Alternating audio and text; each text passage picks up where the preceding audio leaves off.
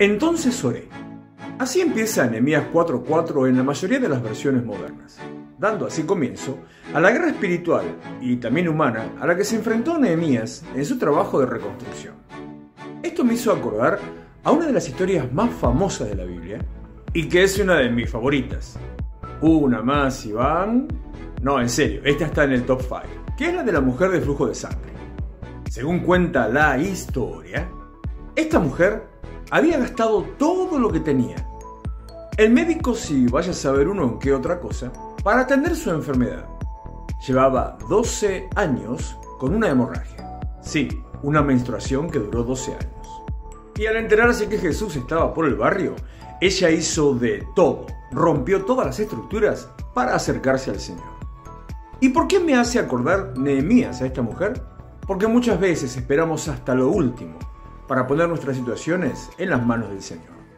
Es, ya sé, no fue el caso de Nehemías, pero la expresión entonces oré nos muestra que la respuesta ante cualquier circunstancia que vivamos es ponerla en las manos del Señor.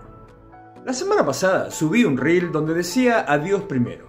Basado en Mateo 6:33, estaba diciendo que si ponemos todas las cosas en las manos del Señor y lo buscamos a Él en primer lugar, entonces todo lo que necesitamos va a venir a nuestras manos.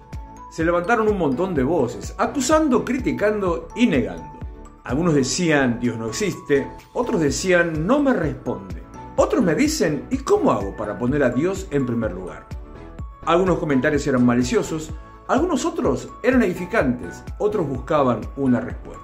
La clave para tu vida victoriosa, la clave para que te vaya bien en todo lo que hagas, la clave para ir por un camino seguro y que a pesar de tropiezos, caídas o dificultades, llegues a la meta que te propusiste, es poner todo en las manos del Señor. Ya lo dice Proverbios, reconocelo en todos tus caminos y Él enderezará tus veredas. ¿Y cómo hago para reconocer al Señor en mis caminos? Es tan fácil. Tan difícil, pero tan fácil. Ponete vos en el camino por donde está el Señor. ¿Estás preocupado? Habla con Dios. ¿Estás en un conflicto, en una lucha?